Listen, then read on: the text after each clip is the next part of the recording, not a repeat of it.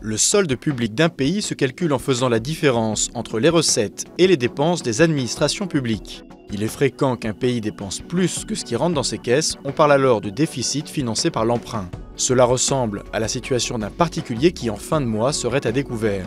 Mais il existe une différence majeure. Pour un particulier, la banque appréciera le montant du découvert par rapport à ses revenus. Pour un pays, le déficit annuel ne sera pas comparé aux revenus de ses administrations publiques, mais au produit intérieur brut ou PIB du pays, c'est-à-dire à la richesse produite en un an par l'ensemble du pays, secteur privé compris.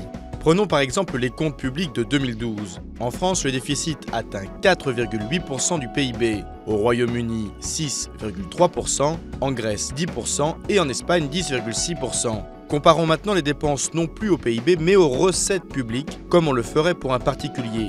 Les résultats sont bien différents. 9,3% de déficit pour la France, 15% pour le Royaume-Uni, 22,4% pour la Grèce et 29% pour l'Espagne.